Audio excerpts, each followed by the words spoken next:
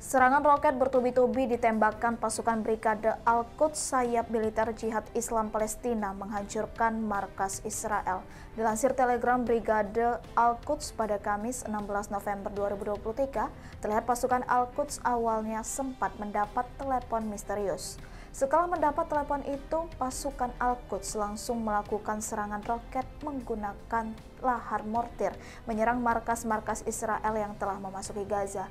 Akibat serangan ini, militer pertahanan Israel IDF belum memberikan konfirmasi terkait kerugian dan prajurit yang gugur.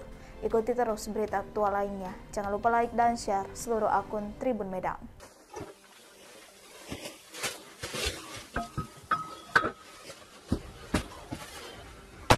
بسم الله توكلنا على الله.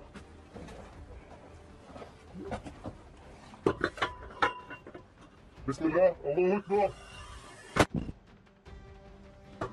بسم الله الرحمن الرحيم. الله أكبر. الله أكبر الله أكبر. الله أكبر الله أكبر. الله أكبر.